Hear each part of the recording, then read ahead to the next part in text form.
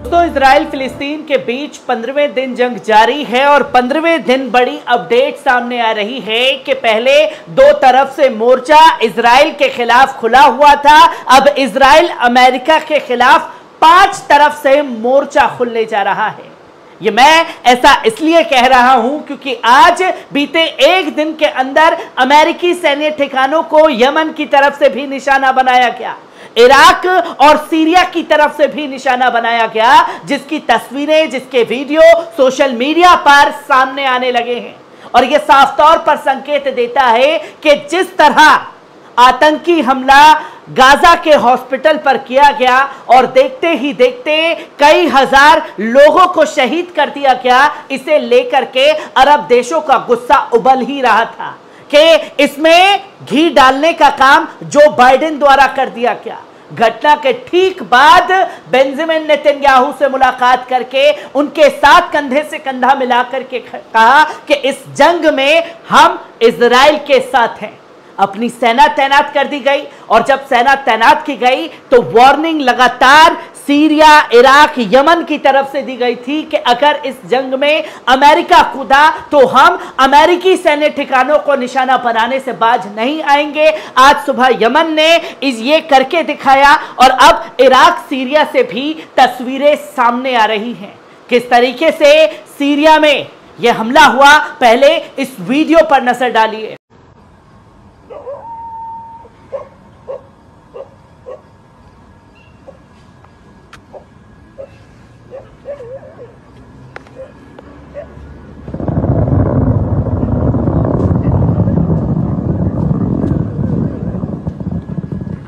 तो दोस्तों, आपने देखा सीरिया की तरफ़ से ये आया वीडियो और इससे भी ज़्यादा हमला जो है, वो इराक में हुआ है। किस तरीके से इराक का वीडियो सामने आया है, पहले इस पर नज़र डाल लीजिए।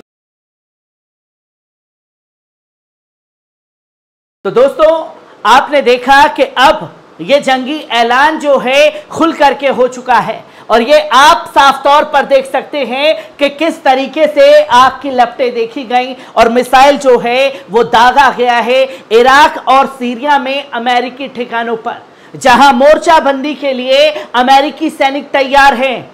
और वही युद्धपोत पर यमन ने सुबह हमला करके चेता दिया कि इस जंग में अगर अमेरिका इसी तरीके से काम करेगा तो हम भी फिलिस्तीन के साथ कंधे से कंधा मिला करके खड़े हुए हैं, जो कि आप साफ़ तौर पर देख सकते हैं कि तमाम वेबसाइट ने इसका खुलासा किया है और साफ़ तौर पर इस पर लिखा गया है कि सीरिया, इराक में अमेरिकी सैन्य ठिकानों पर बड़ा हमला हुआ है।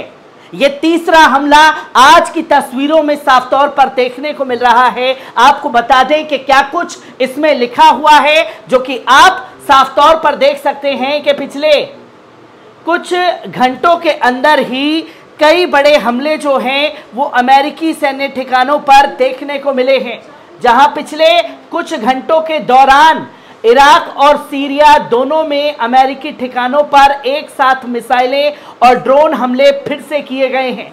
क्योंकि यह घोषणा की गई थी कि बगदाद हवाई अड्डे के पास विक्टोरिया बेस और दीन एज ज़ोर ग्रामीण इलाकों में साइटों को निशाना बनाया जा रहा है, जो कि ये साफ़ तौर पर बताया गया इराक बगदाद में कि हवाई अड्डे के पास विक्टोरिया बेस और दीन एरजोर ग्रामीण इलाके में यह निशाना बनाया गया है।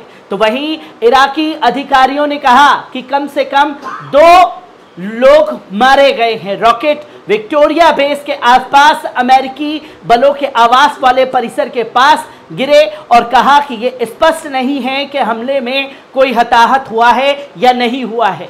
इसकी तस्वीर लोगों के सामने आना बाकी है, पर ये आग की लपटें बताती हैं कि अब ये जंग जो है, महायुद्ध की तरफ़ तब्दील है, जहाँ अमेरिका खुल करके इसराइल के साथ खड़ा हुआ और अब इस जंग में हमास हिजबुल्ला को बैकअप देने के लिए यमन और सीरिया और इराक भी पूरी तरीके से कमर कस चुके हैं, जो सिर्फ़ अमेरिकी सैन्य ठिकानों को निशाना बना रहे हैं।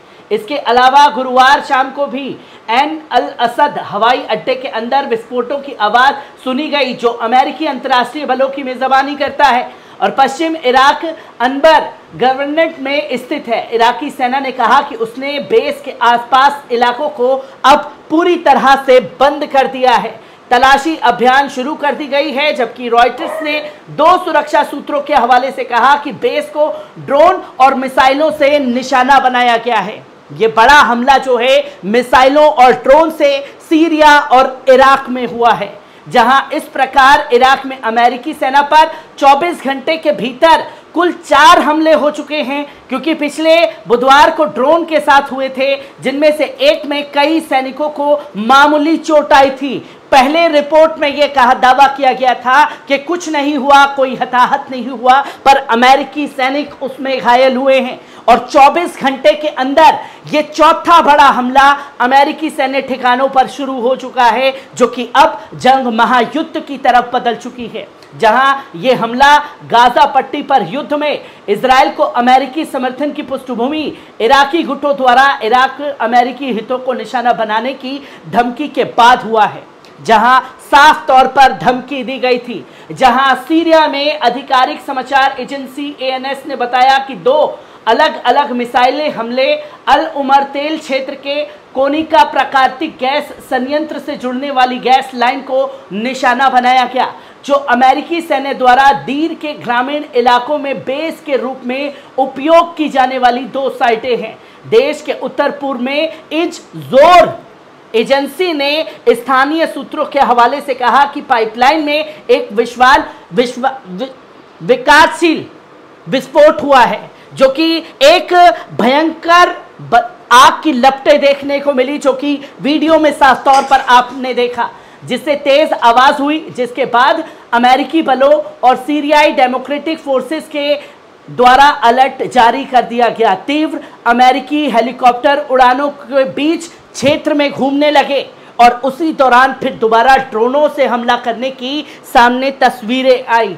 और उन्हीं सूत्रों ने कहा कि अन्य मिसाइलें हमले, अल उमर तेल क्षेत्र को निशाना बनाया गया। अमेरिकी बलों के बीच नुकसान जानकारी नहीं दी गई है और जब भी ये हमले हो रहे हैं तो अमेरिका की तरफ़ से कोई हताहत नहीं हुआ। ये बयान सर्कुलेट कर दिया जाता है। परसों भी यही कहा गया, पर अब ये खुलासा हुआ कि अमेरिकी के जो सैनिक हैं, उनको क्षति हुई थी।